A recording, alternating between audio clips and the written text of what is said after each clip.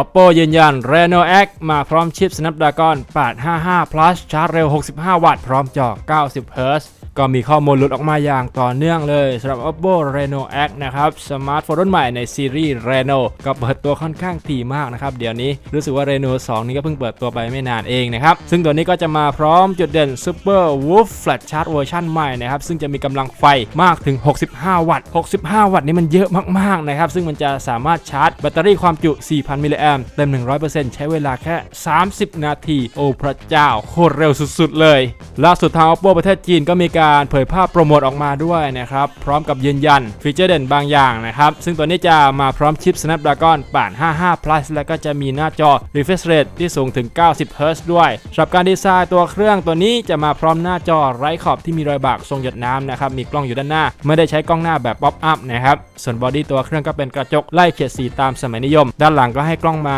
4 ตัวนะครับ ซึ่งตัว Oppo Reno X ก็ผ่านการรับรองจากทีน่าเรียบร้อยแล้วนะครับ ในรหัส Oppo PCLM 10 ก็มีการเปิดเผยสเปคบางส่วนออกมานะครับ ซึ่งจะใช้หน้าจอ AMOLED 6.5 นิ้ว ความละเอียด Full HD Plus ตัวชิปใช้ Snapdragon 855 Plus ความเร็ว 2.96 GHz ตัวแรมนี้ให้มามากถึง 12 GB เหลือเฟือเลยนะครับ จะเอาไปใช้อะไรก็ไม่รู้ ส่วนตัวรอมให้มา 256 GB กล้องหลัง 4 ตัว ตัวหลัก 48 ล้านพิกเซลนะครับ ตัวที่ 2 13 ล้าน ตัวที่ 3 8 ล้าน และก็ 2 ล้าน ซึ่งจะสามารถซูม Optical Zoom ได้แค่ 3 เท่านะครับ ส่วนกล้องหน้า 16 ล้านพิกเซลมาพร้อม Android เวอร์ชัน9 ซึ่งตัว Oppo Reno Ace นี่ก็จะเปิดตัวอย่างเป็นทางการวันที่ 10 ตุลาคมนี้นะครับ ก็เหลือเวลาอีกประมาณ 3 สัปดาห์นะครับ ก็ต้องคอยติดตามกันว่าจะมีอะไรน่าสนใจบ้าง ราคาเปิดตัวเท่าไหร่ เดี๋ยวถ้ามีข้อมูลเพิ่มเติมยังไง ผมจะรีบอัปเดตให้ทราบ